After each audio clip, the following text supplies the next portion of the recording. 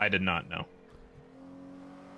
Dude, GG to the Mandem viewers. You guys, you guys really, uh, God, it's gonna be like. It's okay though. It's I ID'd at least one of of them. I'm gonna be putting them in prison. out there, man. Don't worry. Crazy.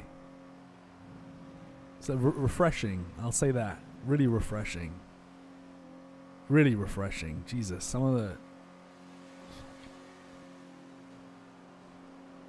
Some of the uh, some of the gang communities on on No Pixel Dude on Twitch are fucking nuts. Actually nuts. Actually crazy.